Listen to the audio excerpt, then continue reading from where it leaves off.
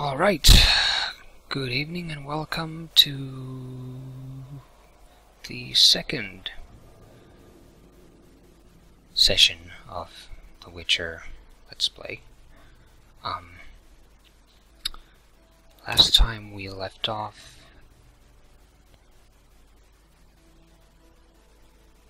we stopped at the outskirts of Vizima, chapter 1, where the game really starts. So we're going to load up the game and continue from there. Let's go.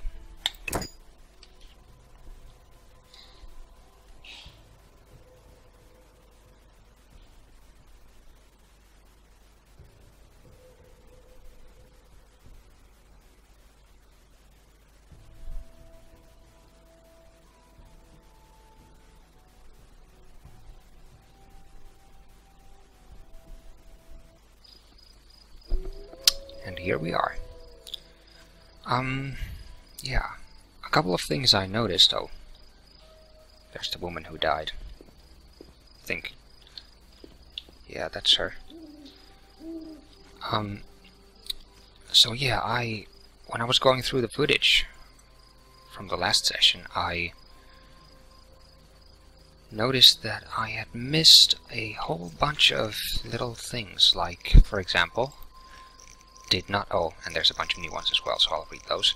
But I did not introduce Vesemir at all. So, let's start that. Um, Vesemir is the oldest and most experienced witcher, possibly older than Kaer Morhen itself. He spends each winter in the fortress and sets off on the road when spring comes, just like all the others. Despite his age, Vesemir is robust and lively. Many youngsters could envy him his health. An excellent fencer, he was the one who taught me swordsmanship, Geralt. Uh, he has raised many witchers, including me. His disciples treat him like a father. Leo was probably the old witcher's last protege. The boy's death shocked him. He was one of a few who survived the assault on Kaer. I thought he was the only one. Anyways, he's well aware of the magnitude of the hatred some people feel for witchers. Right. And some additional information. Um, after on Triss Merigold. After Leo's funeral, the sorceress teleported to Vizima, so she is somewhere close to me at the moment. Um, she decided to use her extensive contacts and search for information on Salamandra. Triss promised to find me as soon as I arrive in Vizima. So apparently Salamandra is a well-known organization. It's just that people don't really know who their leaders are. So that's why these guys probably knew about knew about it in the last video.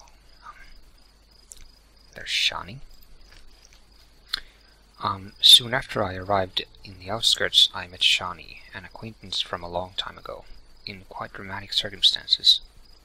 Shani is completely devoted to medicine, her passion, and she had plenty to do in the outskirts so there was no time for small talk. I got the impression that this sensible, intelligent girl likes me a lot. Huh. And then there's Alvin, the boy. A boy named Alvin managed to escape the Barghest attack, which cost his foster mother her life. As a result of the shock, he started to divine the future and uttered the prophecy of Ithlinne. I suppose Alvin is a source. He has magical powers he cannot control. Yeah, so he runs the risk of going insane. As was explained in the magics.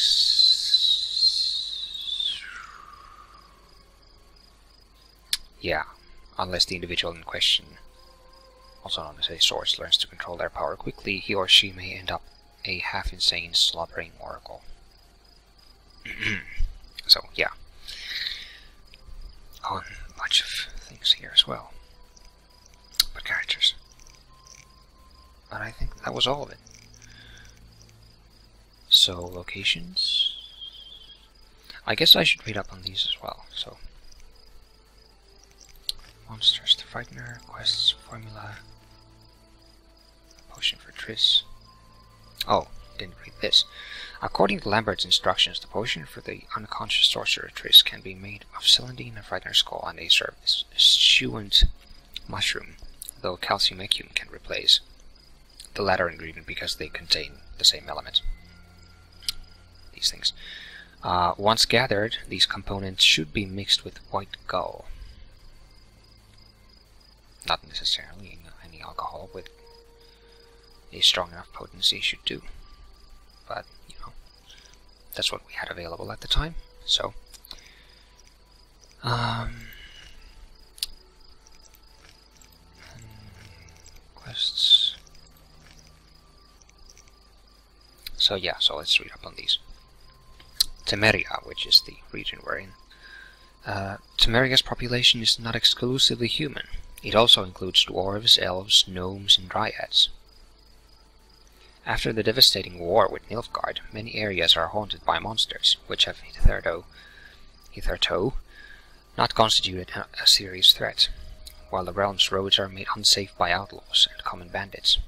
As a result, the Witcher profession is once again in demand, though people continue to treat Witchers with caution and disdain, often calling them mutants and freaks. The Kingdom of Temeria has silver lilies on a black background as its emblem. This powerful country has gained even more influence in recent years under the wise rule of King Foltest, the king we helped, or Geralt helped, earlier, so he owes us, apparently. Um, across the Pontar River, the kingdom borders Redania. To the south and east, it is hemmed by in by mountain ranges, including Mahakam, the mainstay of dwarves and gnomes, past which lie the lands of Lyria and Aedirn. The capital of Temeria is Vizima, uh, lying on the shore of Lake Vizima. The second largest city is Maribor. Temeria mints its own coin, the Oren. The most widespread regions, religions are the cult of Melitele and the belief in the eternal fire. Temeria is home to the headquarters and many command commanderies of the Order of the Flaming Rose. And then there's the outskirts, where we are now. Like any large city, Vizima also has its outskirts. Near the city walls stand the houses of townspeople, who could not afford to live in the city or could not stand the stench of its gutters. A little further out among the fields and meadows, peasants have their thatched roof homes.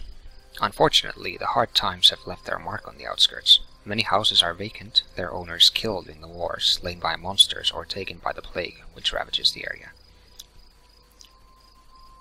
Now, one interesting thing the developers of the game could have done is they could have included a smell indicator, right? So kind of like we have the talisman up here, which I shall I'll show you. You can set the talisman to vibrate when monsters are near, or when these things called places of power are close by. So, you know, you can use it to detect bad things or good things, basically yeah, that's that. characters, locations, glossary. There's nothing here, so the Catriona. A disease which quickly spread through all the northern countries after the war with Nilfgaard. Those who suffer from Catriona die a terrible death. Their convulsions become stronger each day. They vomit blood and mucus, and have bloody diarrhea. After a fortnight or so, they die in agony. Lovely. Dwarves. Dwarfs are shorter than humans, but tougher and more muscular. Male dwarves wear long beards. They're usually gruff, but can be merry, and are renowned for their stubbornness. Considered excellent craftsmen and warriors, many have earned grudging acceptance in human society. Still, it's not uncommon for young dwarves to join, join the Scoia'tael rebe rebels to fight for more rights for non-humans and an end to persecution. So there's racism um, and there's Ithlinne's prophecy. An old elven prophecy about the end of the world. The wolf's blizzard approaches, the time of the sword and axe, the time of the white frost and white light, the time of madness and disdain, Tedd Deireadh, the final age. The world will perish, amidst ice and re be reborn with the new sun, reborn of the elder blood, of Hen Ichaer, of a planted seed, See that will not stop it burst into flames. So we heard Alvin recite that last video. And that's it. There's quests.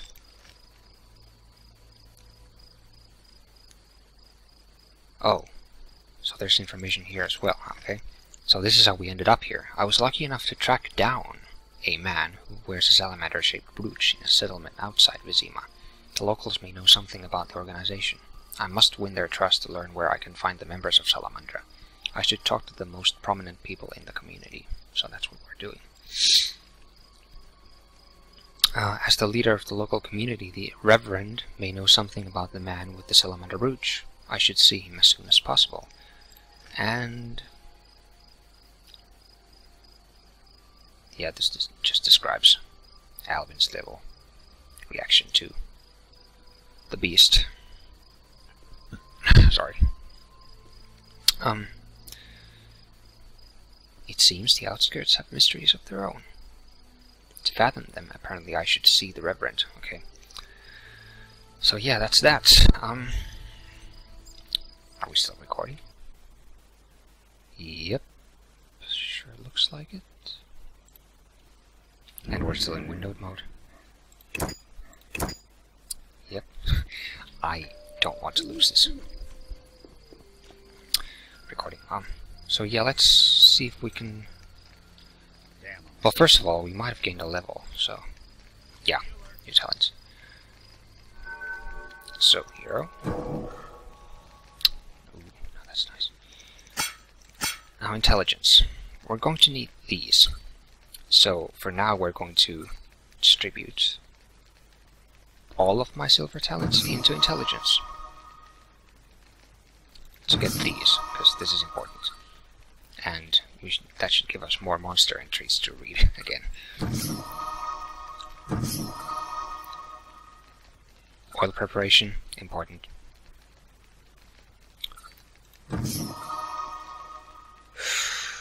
These might come in handy, but I'm not to mess with them too much just yet. Also, steel swords. We'll be fighting Barghests, and at this point I don't really have that much endurance. And Aard doesn't really do any damage, so it's not not like not like I, I can just kite kite the enemies and and blast them with that and kill them. So I'll have to get in close. So I'm thinking maybe I should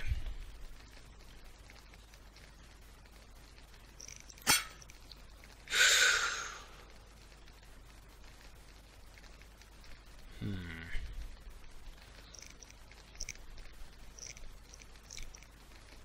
Well, fast steel seemed to work well against them, so...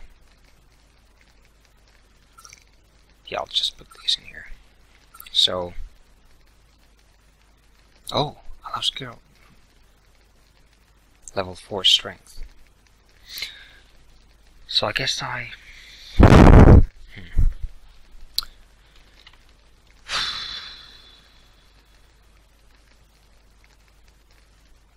Decisions. Okay, what I'm thinking is, Yrden, right? This is a trap spell. I guess I'm going to go with sword fighting, and then complement that with some... If I get into trouble, I'll just use Yrden and possibly Igni and Aard. And possibly put one level into Heliotrop, because casting Heliotrop calls fire. Also, Heliotrop is one of the spells added by the FCR mod. It replaces Axii, which was kind of useless, I never used it. It was a mind control slash fear spell. Not really useful. But, okay, so fast steel. Armor penetration.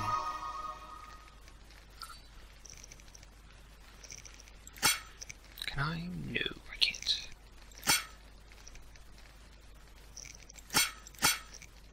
Can't really put any strings. This might be useful, so that there. Then I have two more talents which damage and damage. And that's that. Now can I... Alchemy Medallion. Current mode, detecting monsters. How do you set that? Hero.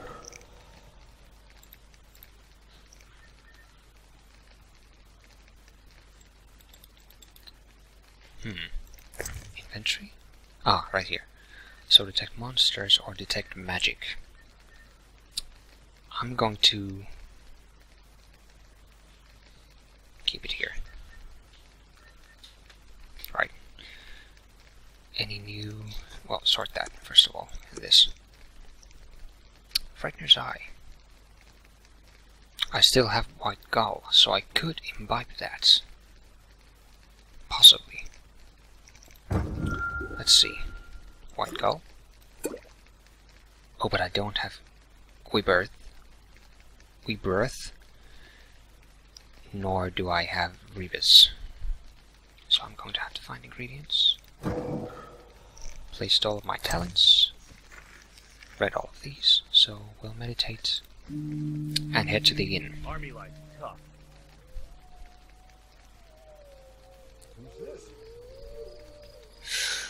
Hear the howling. Yeah, so new entries in the journal. There's an inn. So white vinegar, ingredients. By upgrading to these, upgrading these, I Geralt re recovered some of his lost memories, so now I know something about these monsters. Because the whole idea is that because he lost his memories, he's lost most of his abilities, and we're regaining them as we're going along. So yeah. But journal and monsters. These are always interesting, so I like reading them. Just go through here, nothing new. Nothing new formulas, ingredients, abomination lymph. So yeah, a lot of ingredients. here are the individual elements, white vinegar, and an alchemical catalyst obtained from the carcasses of ghouls, alghouls, scimitars, and graveirs. Graveirs. Graveirs. Graveir bone. Obtained from the bodies of graveirs. Ghoul blood. Obtained from ghoul carcasses. Frightener's eye. An eye removed. Well, these are obvious. Ectoplasm. Obtained from the bodies of ifrits. Barghests, spectres, noon wraiths, and night wraiths. Drowner's brain, obtained from drowner carcasses. Death dust. Wraiths, noon wraiths, night wraiths, and barghests, so it just basically states the source. Calcium equum, a popular mineral commonly referred to as horse lime. Um, yeah. But this is where it gets interesting. Some of these are really nice. There's a lot of efforts being put into these. So we'll start with the Barghest, because that's what we saw recently. So Barghest. People say that Barghests are specters which materialize as ghastly dogs and persecute the living. According to some folk tales, these monsters are the scouts of the wild hunt. Other legends say the ghosts appear as a sign of divine retribution and embody revenge. However, all tales agree on one point. Barghests show the living no mercy. Yeah. Drowners. Drowners are scoundrels who ended their wicked lives in the water. Drowned alive or thrown into deep water after death, they turn into vengeful creatures which stalk the inhabitants of coastal settlements. They're creatures of the night. They appear on the banks of ponds, lakes, and rivers. Immune to bleeding, blinding, and poison. Attempts to uh, attempts. Fearless and immune to stun attempts. Hmm. Just a sec. Be right back. Be alert.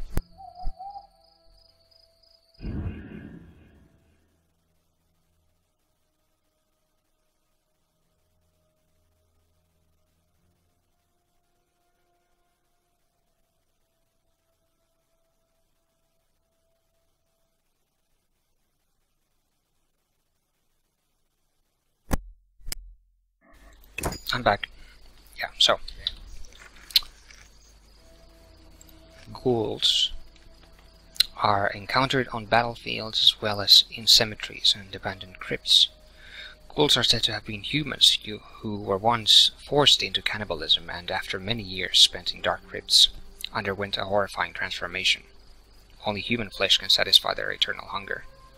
So they kill people and store the remains in the recesses of their lairs.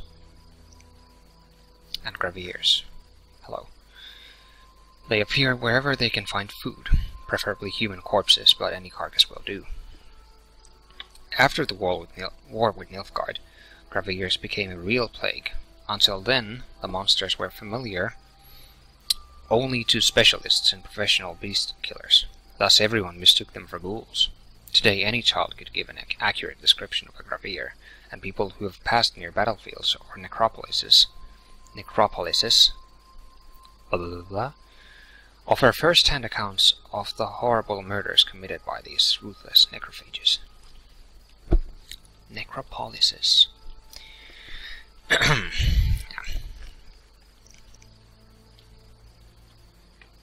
Looks like that, so. Yeah, I'm, I'm going to be doing a lot of reading. So yeah, now I distributed the talents. Check the barrels for any loot. I'm I know I'm supposed to be role playing this, but you know, it's, in the barrels. Nobody's really using it for anything. It, it seems like so. I'm just gonna take it. I might refrain from taking stuff from people, people's houses, though. Might. Now, who's this guy? He looks well adorned. Greetings. Greetings. What a despicable place. I'm trapped here with my goods while my wife and children wait in the city. Why's that? Vizima's gates are closed due to the plague. The gods be my witness, nothing ruins trade like an epidemic. I guess we just have to wait. Most of the diseased have died off, but the beast and bandits now spread their own terror. All we're missing are tax collectors. Hmm. Can I ask you something? Yes? Okay, so he's a merchant. Hmm.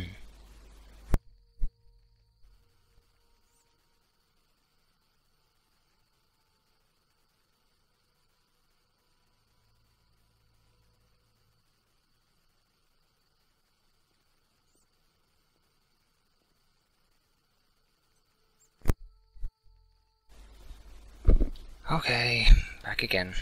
Um, sorry, interruptions. Um, so what's with this plague? What's with this plague? What of it? Tis some variety of the bubonic. To be safe, I avoid any who appear even slightly ill. Aren't you afraid?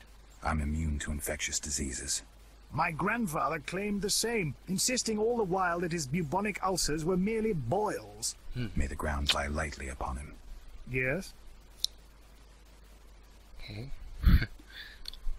it's funny. Well, not funny, but um, yeah. So what about the beast? Tell me about the beast. I overheard it described as a phantom, appearing from nowhere, murdering those with a heavy conscience. Interesting. Royal officials would make a true feast for the beast, and other ghosts serve it, apparently in the form of untiring bloodhounds. I'll have to ask the locals. Yes? Okay. So the beast is after people who, well, possibly, is after people who are dishonest and have done done something terrible in the past. Possibly. Vengeful spirit. According to him. Yeah. Any bandits in the outskirts? Any bandits in the outskirts? Indeed. They call themselves the militia and extort bribes. Also, some sect from Vizima may have arrived here. Do these men wear the salamander sign? Never met them. But if they are a sect, the Reverend ought to know something. I'll ask him. Yes? Yeah, I guess that's it. So there are some bandits from Vizima. or a sect from Vizima and just the village militia. Let's see what he has though. Um, oh, now these cost a lot. I'm piss poor. Okay, um, but yeah, we're going to want these. So, time to start saving.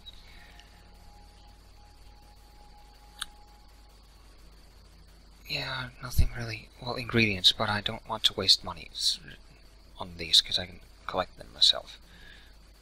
Nine orange. So yeah, unfortunately I won't be buying anything today. Let's head to the inn. Hmm. A notice board. Maybe I can find some witcher's work. Yeah, so this is one way to pick up pick up quests. Oh, hello.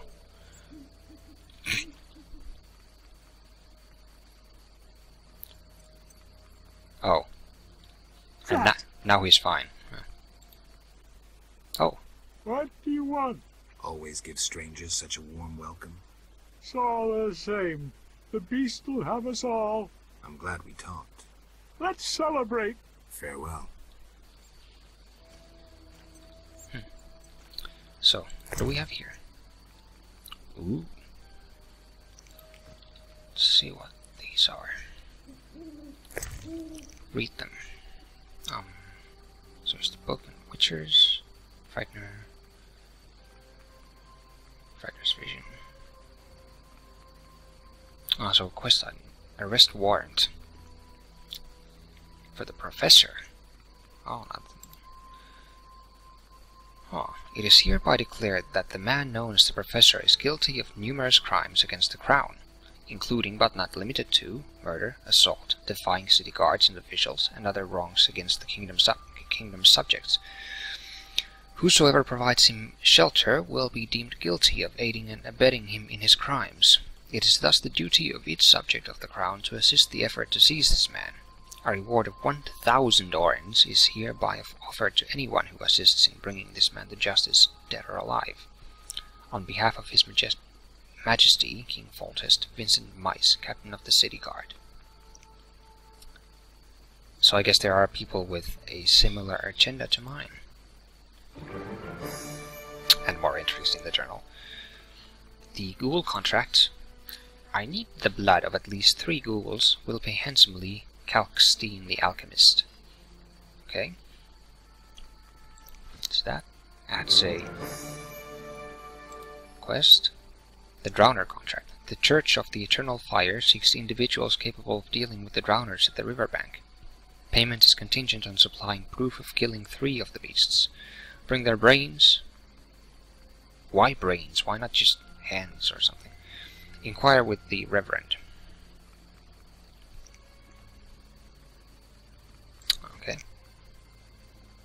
And the Barghest contract. Brave man urgently needed. Whoever brings me 10 Barghest skulls will receive 100 orens. Abigail, herbalist. And there's another one. So, quests.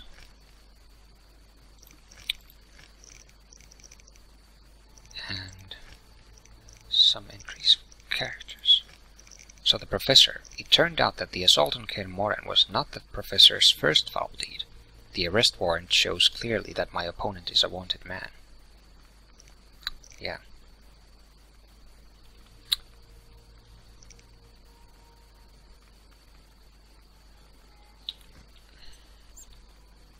I think that's everything, hopefully. So we'll go in and see what's up.